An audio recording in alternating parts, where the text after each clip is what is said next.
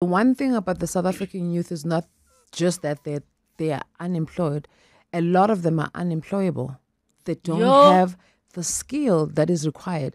It it bug it bugs me how how long it takes for us to fill in positions as era just to find the right person for our stores.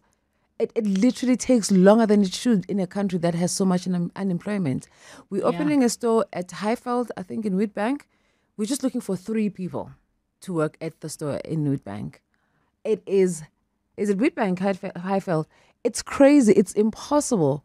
You would think, like, I haven't had a PA for such a long time.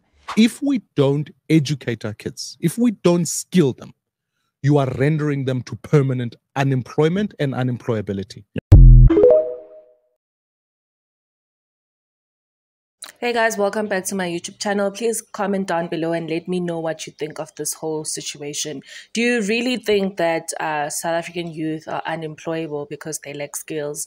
And this video honestly frustrates me personally.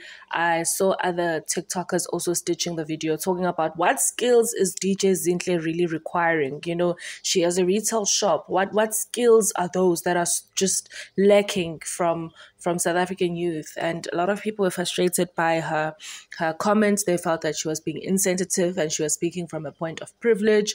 Most people were just asking, what skills does DJ Zinhle really require in her retail store that she cannot find?